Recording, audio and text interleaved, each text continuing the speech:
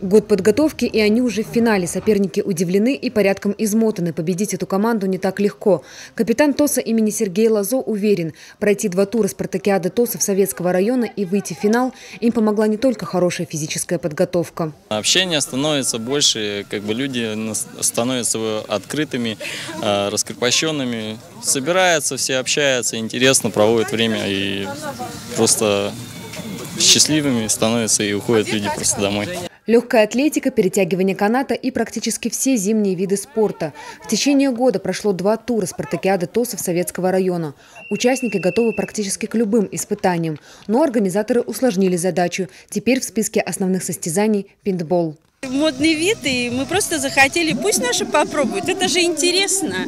То есть по волейболу мы провели соревнования, по метанию дротиков провели, по бегу, по прыжкам, все провели. И захотелось еще по пинболу. Но людям очень понравилось, и поэтому они с удовольствием играют.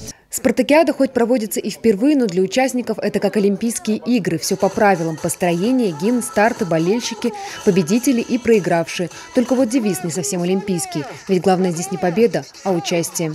Ольга Вайлошникова, Илья Зиновьев. Новости дня.